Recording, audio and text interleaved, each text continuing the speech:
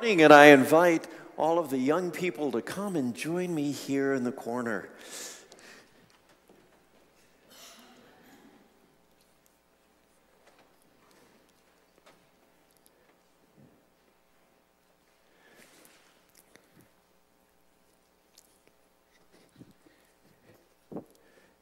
So let's begin with this question.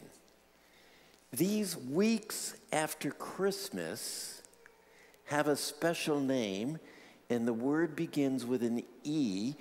Do any of you remember Epiphany? Now, here's even a more difficult question What does Epiphany mean? means appearance.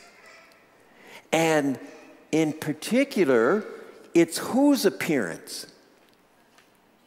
Jesus' appearance, yes. And what appeared in the sky that let the wise men know that Jesus appeared? A star, like a star on our epiphany tree.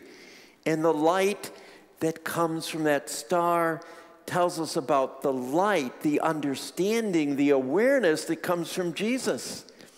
And so Deacon Emily has set up this epiphany that every week we'll have an ornament that will either be a place, a person, or a thing.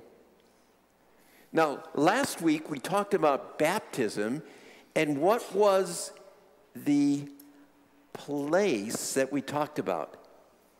The font the baptismal font, yes. So,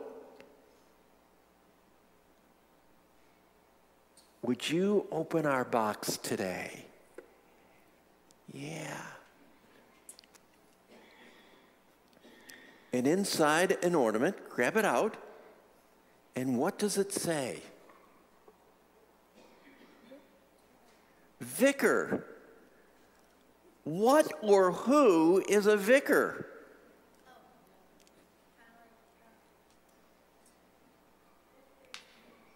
It's like Vicar Kim, okay. So why do we call Kimberly Todd a vicar? Is, is that a nasty name we're calling her?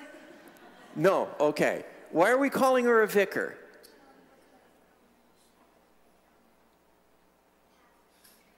A pastor in training, excellent. Very good. Yes, a vicar is the title we give to a person who's preparing to become a pastor in the church. And so not only does Vicar Tim, Kim serve on our staff, she's a student at the Lutheran Seminary in St. Paul, Minnesota. And soon, after her internship, she will become ordained and become a pastor. Now, a pastor tells us about Jesus, but you also can tell people about Jesus, what Jesus means in your life, in the gift of forgiveness, in the teaching about how to be a good friend and to love our neighbor as we love God. Would you pray with me? Good and gracious God, thank you for the appearance of Jesus. Thank you for the story we have to tell. Thank you for Vicar Kim. Prepare her to be a storyteller for you. And use us also. Amen. Okie dokie.